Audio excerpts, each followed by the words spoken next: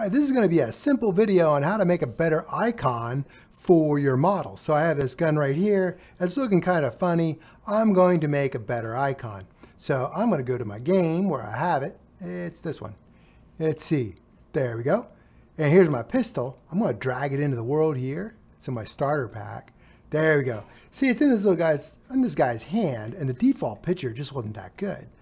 Let's go ahead and grab that thing, drag it here, there we go. And then we'll rotate it. Pretty good. Maybe move it up a little bit. All right, now we got to get our camera. So click on your camera and we got to zoom in a little bit and we are going to use field of view. So field of view at 70, what does that look like? 40, that's not bad. Let's get a little closer. Let's go 20. Ah, there we go. Can we get even closer than that? 10.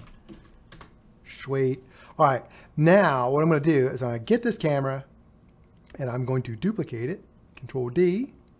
I'm gonna drag it down into my pistol. I'm gonna say thumbnail camera. Thumbnail camera.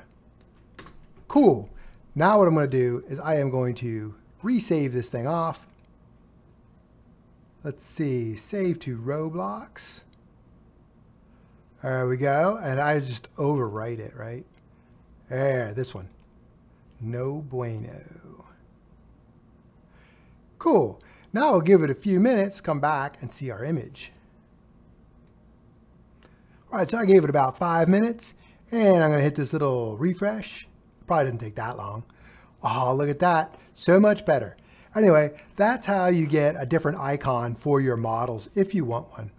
I will see you in the next video.